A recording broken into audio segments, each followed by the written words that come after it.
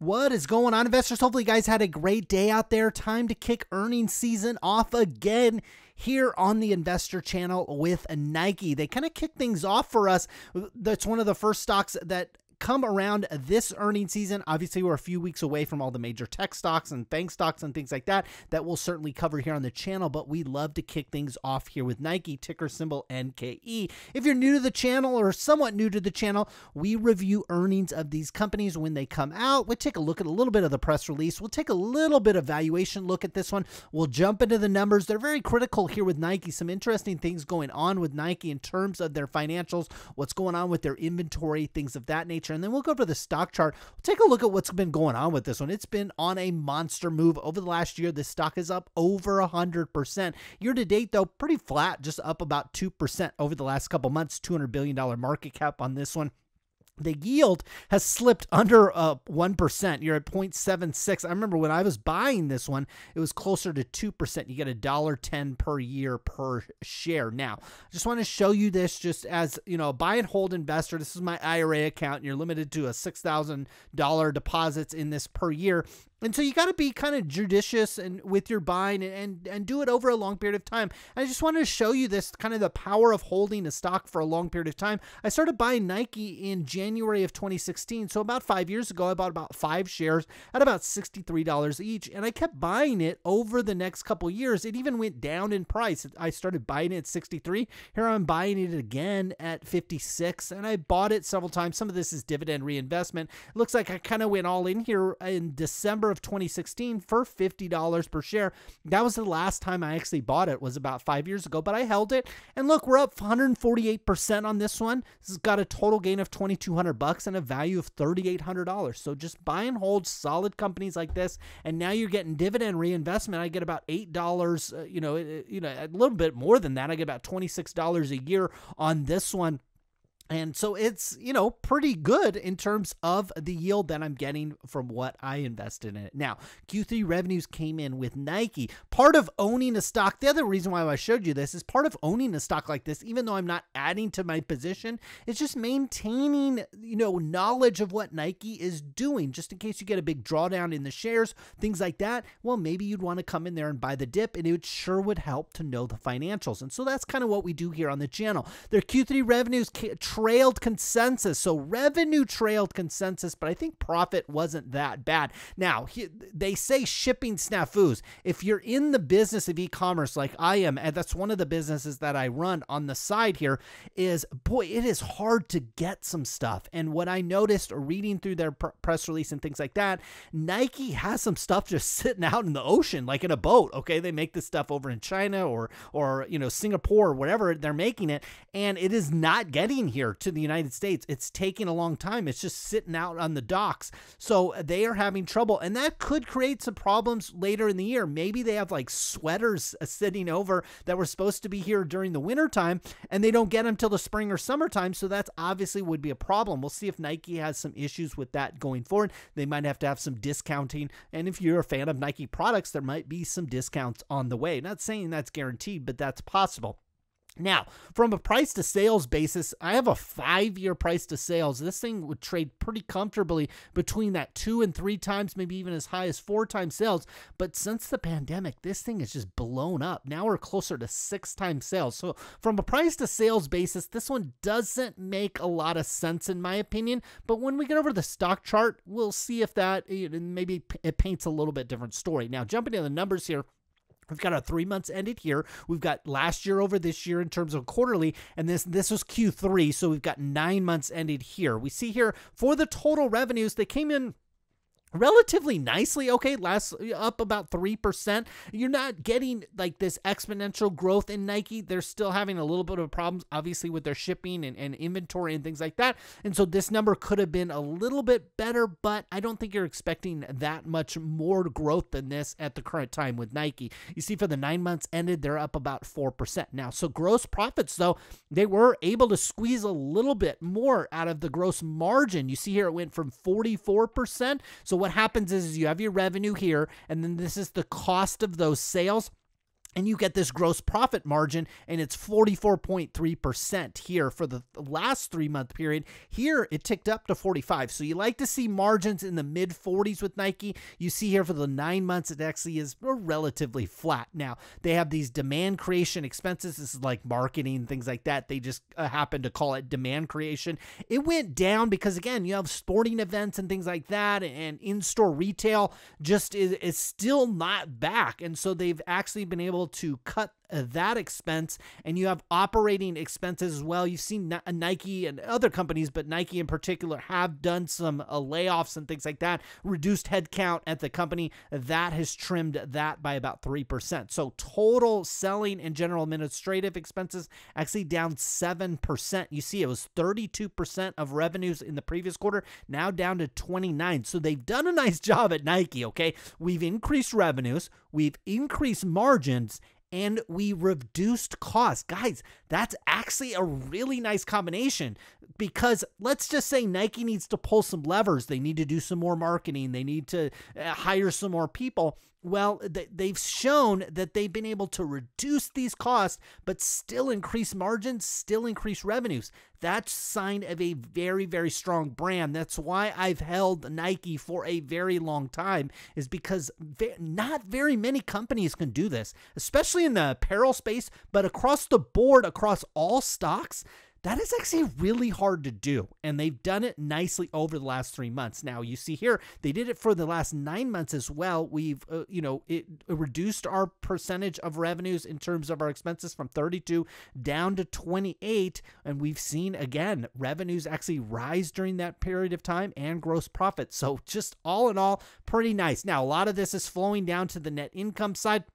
He had a really fantastic quarter here. Uh, you know, even with the effective tax rate going up a little bit, you had just a really nice net income number pulling down here. You ended up making 90 cents diluted. Again, I showed you this stock pays a dollar ten for an entire year. An entire year they pay a dollar ten. In a quarter they make almost all of that. You see, for nine months we earned two sixty two, so more than half of it. This is a, Uh, in my opinion, Nike is a dividend growth company. So they're constant. I think oh, the last dividend raise was like maybe a 10 or 11% raise, somewhere in that ballpark. I'm going off the top of my head, so it might not be exact, but they're raising the dividend by actually a fair amount each year. And that is very powerful over the long period of time.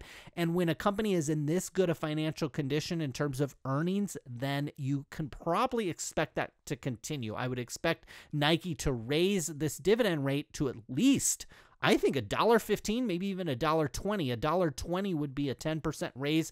Oh, a little less than that, actually, uh, uh, onto that. And I would actually expect that because they have plenty of earnings to go along with this in a difficult time. Now, balance sheet perspective, things are looking good. What Nike did is what a lot of companies did when the pandemic hit. They basically drew down on some credit revolvers that they had. So they blew up their cash and cash equivalents because they didn't know what was going to go on. They didn't know if the credit markets was kind of tighten up. So you see here cash and cash equivalents up 190 97%. Short-term investments up, you know, 1100%. Okay, they bolted on like a ton of cash to this balance sheet. Like it looks like over about 10 billion dollars so they tapped their credit lines for uncertainty. I don't think they're going to need it. So we'll see what they end up doing with that cash. I think they hinted that they're going to resume their buyback in this stock heading into the I think the, either the fourth quarter, which is the next quarter. So they could be using some of this cash to actually buy back the shares, which would also be bullish for the stock and for it, buy and hold investors in particular. You see, total assets actually ticked up 38%, but total liabilities actually ticked up the kind of the same percentage because again a lot of that was just this long-term debt they basically just bolted on this long-term debt down here now Here's where it gets interesting with Nike because they break things out in the region. So we got North America, we got Europe, we got China, and then we got APAC, Asia Pacific. We see here, it's interesting. Total in the United States over the last three months actually down. It was a pretty, I don't want to say bad, but this is a pretty bad quarter, in my opinion, for North America. And it could be driven that they just didn't have the product in stock because it's just sitting out at sea. And so we'll see what happens in, in the coming quarters because Europe was down 4%. That's not that bad. Take a look at China. Okay, this is why you never see LeBron James or any Nike athlete Eh, I mean, they bashed the United States, especially when we had the the president that we had before that we did now. They would just openly badmouth the United States, but they would never, ever, ever say anything bad about China. And you wonder why? Because 51% growth in the quarter oh my goodness, this is a company that is becoming more of a China story than anything because take a look footwear up 50%, apparel up 54%, equipment up 58%. Now, the other thing too is China was kind of the first one hit by the pandemic, so it could be they're the, the first ones out of it.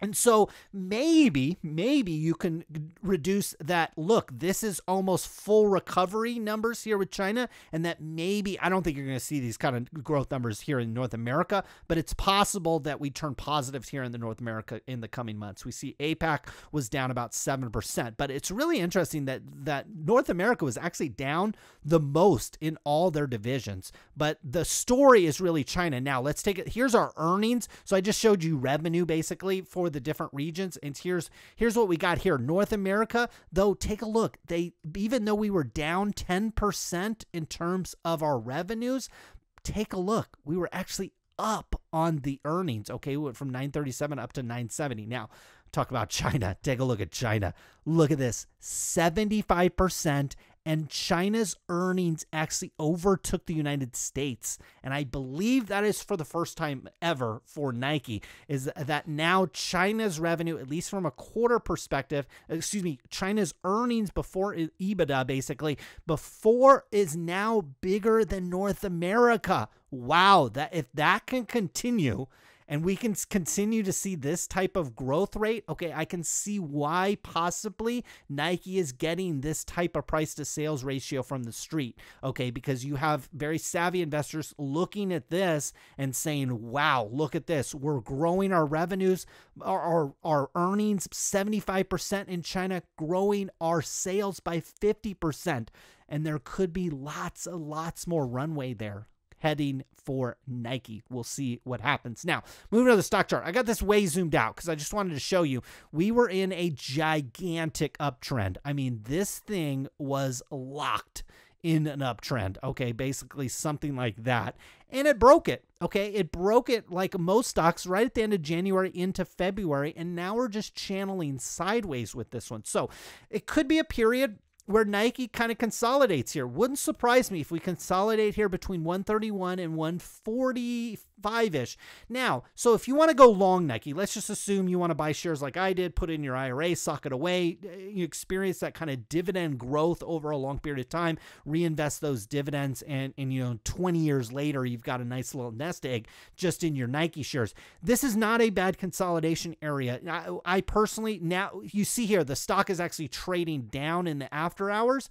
And so it's trading right where this line is. So we're basically halfway in between this consolidation area. I'd like it closer to down here, but I wouldn't necessarily get greedy. I wouldn't open a full position up at this period either. Let's say you wanted a thousand dollars of Nike. I'd nibble a two or three shares in this box here and wait to see what happens. Okay. Because if you break this area here, this area at 132, Tell you what, there's not a lot. And I mean, there's some stuff, some consolidation underneath here, but boy, the trend will have been negative, and you could see this stock pull down to its 50 day moving average into the 120s. That would be an area where I'd probably want to be a little bit more aggressive. Now, the other thing that could happen is it is in the Dow Jones Industrial Average, and that average has actually been performing very well. This thing could break to the upside. You're really looking for it to break above 145 ish on strong volume, strong momentum that would take you up and over above kind of the all time highs in Nike. Me personally, since I'm a buy and hold investor, not really looking for it to do that anytime soon. Really, I just see a sideways consolidation. If we can consolidate there, Nike can get their uh, you know shipping and their inventory kind of tied up as well. That would be a good thing and it could bring this price to sales ratio back in check back into a more reasonable level. Basically grow into the valuation that just absolutely got blown up last year because the stock just got I mean this stock was on a rocket ship. I couldn't believe it. So that was Nike. Hopefully, you guys enjoyed this one. Hopefully, you learned something from this video. Don't forget to subscribe and hit that like button on my videos. It really means a lot to me and it does help out the channel. Thanks for tuning in to this one. Good luck with your investments.